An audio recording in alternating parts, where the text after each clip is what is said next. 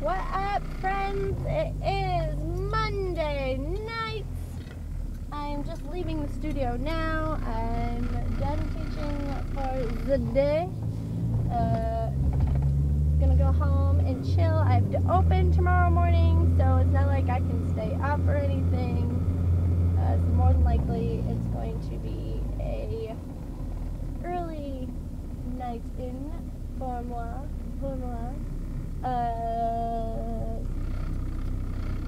have my candle party coming up. I'm excited.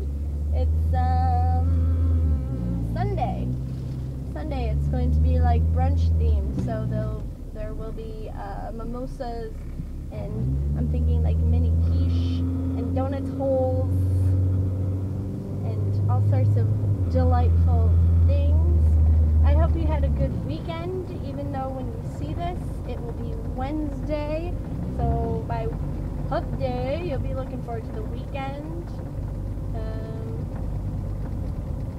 yeah, that's, that's about it. Today was kind of a, just a boring, laid back day. Nothing too exciting. Nope, can't think of anything exciting. I woke up and went to work. Left work and went to Zumba. That that was the bulk of my Monday. Okay, so it is Tuesday night ahead of the day.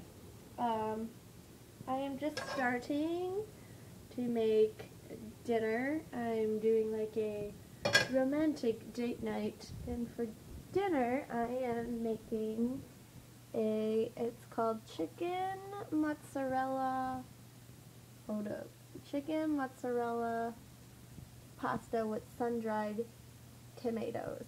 I'm so excited because sun-dried tomatoes are delicious, first of all. Second of all, it's got mozzarella. Who doesn't like mozzarella? You're a crazy person if you don't like mozzarella. And yeah, it's just going to be delicious and I'm excited. So I have most of my stuff in front of me. Got like the chicken and garlic all chopped up and ready to go. Going to pair that with a nice salad, some nice crusty bread. It's gonna be delicious. Look, I only put the garlic and the sun-dried tomatoes in the pan and it's already like smells delicious and it's magical. Dusty, you don't get any. Ha! And there's my chicken. It's all prepped and ready to go.